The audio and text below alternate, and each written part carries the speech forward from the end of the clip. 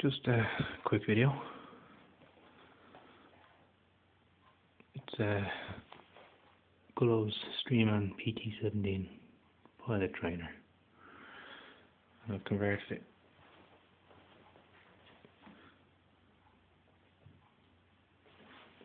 it's the battery receiver and speed controller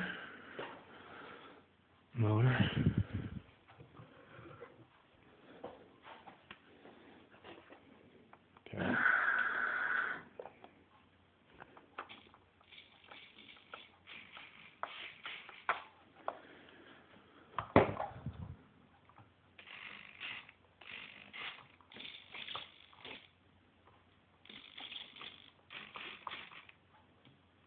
So still has to be doped and painted. And hopefully we get a flight out her without crashing it and putting it into 101 pieces.